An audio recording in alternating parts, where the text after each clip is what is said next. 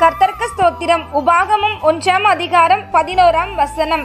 நீங்கள் இப்பொழுது இருக்கிறதை பார்க்கிலும் ஆயிரம் மடங்கு அதிகமாகும்படி உங்கள் பிதாக்களின் தேவனாகிய கர்த்தர் உங்களுக்கு சொல்லியபடியே உங்களை ஆசீர்வதிப்பாராக.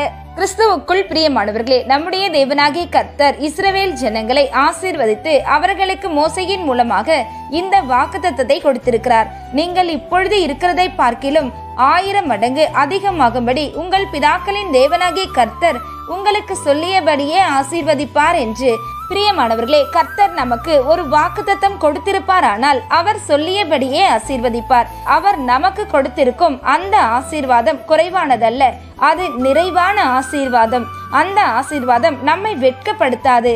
உங்களுடைய குறைவுகளை நிறைவாக்கும் ஆண்டவர் நீங்கள் இப்பொழுது இருக்கிறதை பார்க்கிலும் ஆயிரம் மடங்கு உங்களை அவர் ஆசீர்வதிப்பார். தேவ பிள்ளைகளே நீங்கள் எந்த சூழ்நிலையில் இருந்தாலும் அவர் உங்களுடைய எல்லா சூழ்நிலையும் அறிந்த கர்த்தர். உங்களுடைய கஷ்டத்தையும் வேதனையும் கண்ணீரையும் அறிந்து சொல்லுகிறார். இஸ்ரவேலை ஆசீர்வதிப்பதே எனக்கு பிரியம் என்று சொல்லுகிறார். உங்களை இந்த பதினோரு மாதம் கண்மணி போல காத்து வந்த ஆண்டவர் இந்த பனிரெண்டாம் மாதத்தில் இந்த வாக்குத்தத்தமாய் கொடுக்கிற தேவன் இதை நிறைவேற்ற உண்மை உள்ளவராய் இருக்கிறார் உங்களுக்கு சொல்லியபடியே ஆசீர்வதிப்பார். விசுவாசியுங்கள் இந்த வார்த்தையை அறிக்கை செய்யுங்கள். அவர் உங்களுக்காய் யாவும் செய்து முடிப்பார். அவர் சொல்ல ஆகும் அவர் கட்டளையிட நிற்கும். அவர் மிகவும் பெரியவர். அவர் ஏற்ற சமயத்தில் இதை உங்களுக்கு நிறைவேற்றுவார். நாமும் அவருக்குள் நம்பிக்கையா இருக்க வேண்டும். அவர் நமக்கும் நம்முடைய ஆயிரம் தலைமுறையினருக்கும் சொல்லியபடியே நிறைவேற்றி ஆசீர்வதிப்பார். ஆமேன்.